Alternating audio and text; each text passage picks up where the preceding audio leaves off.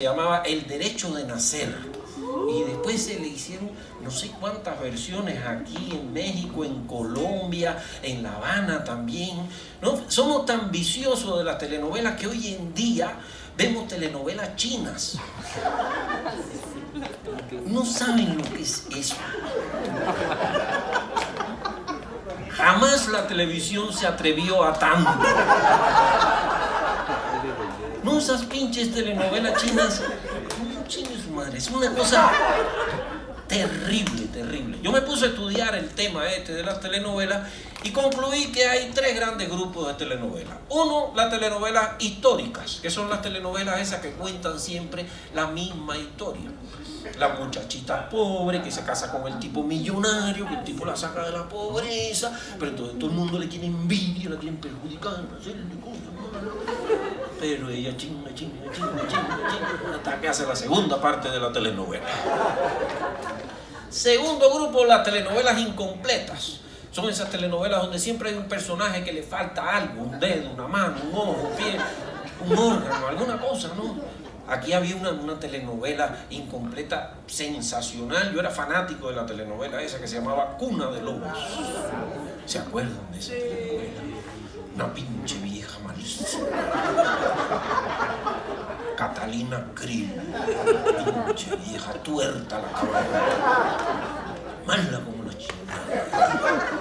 Y yo veía la telenovela todos los días y la seguía. Y para mi sorpresa, de repente la pinche vieja era tuerta del ojo derecho y a veces era tuerta del ojo izquierdo.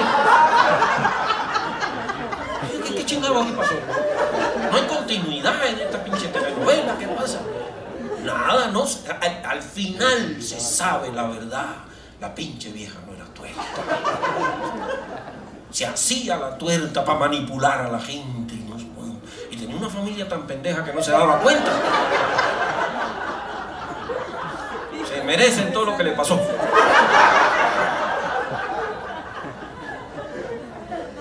Por cierto, siempre me he preguntado si Catalina Krill y Santiago Krill no son parientes.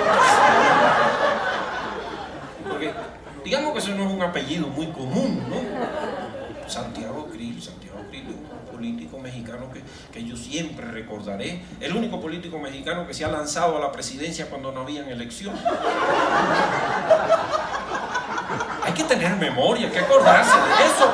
No, hombre, eso, eso es un detalle inolvidable. El país se llenó de vallas que decían Santiago presidente, Santiago presidente. Y vienen unos amigos míos venezolanos y se quedan así. Santiago presidente. Ese hombre sí es optimista. Santiago presidente cree él.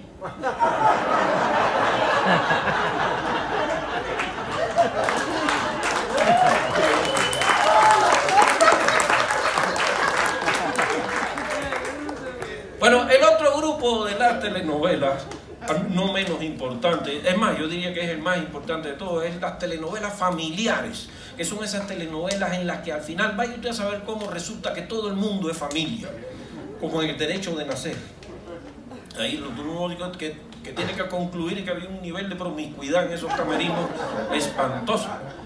Eh, no sé si pidieron algo de comer para que resistan, porque voy a hacer a continuación una telenovela familiar de 1500 capítulos.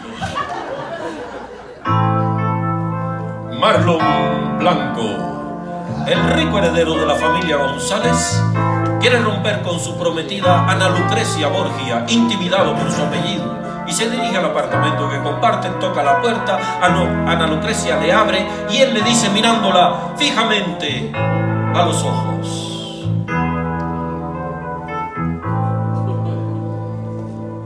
No sé cómo decirte lo que tengo que decirte, pero tengo que decirlo, vida mía. Ella lo empuja para afuera.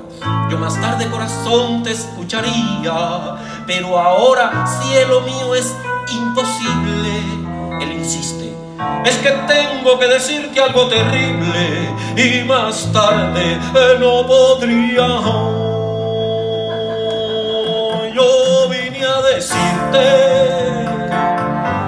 que el amor se acaba y que de lo nuestro ya no queda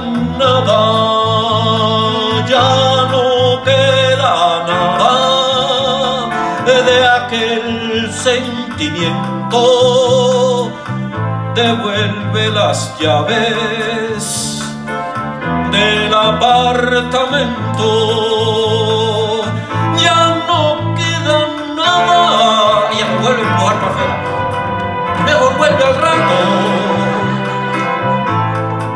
¿Quién está allá adentro? Solo ha sido el gato. Él entra a la habitación. Oh, es un gato prieto. El que está en tu cama. Y por lo que veo, lleva mi pijama. Dice el gato. No sé cómo decirte lo que tengo que decirte, dice el papá. No tengo que decirlo, hijo mío. No es que al verte aquí me haya quedado frío, ni tampoco es lo que estás imaginando. Y si ves que tu pijama estoy usando, es porque no soy tu padre, soy tu tío. Tu padre es tu tío, tu tío es tu padre.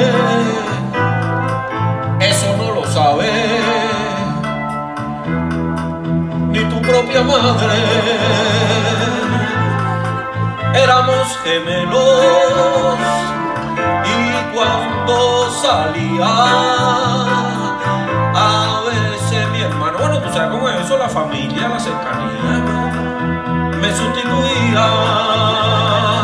Él se pregunta, ¿quién será mi tío? ¿Quién será mi padre? El menos mal que tengo. Una sola madre, una sola madre. Y un pariente ingrato. Que no sé si es tío, si es padre o es gato. Ana Lucrecia decide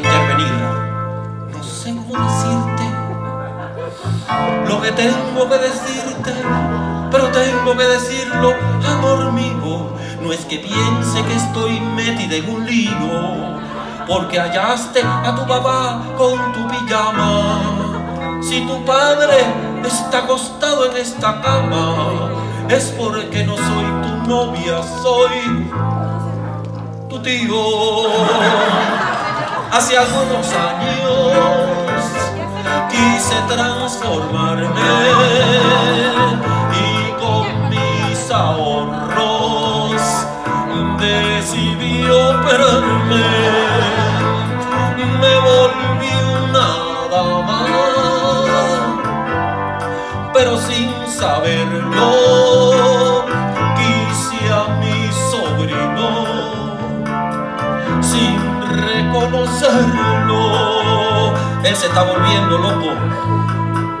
Mi padre es mi novia, mi novia es mi tío. ¿Quién será el culpable de todo este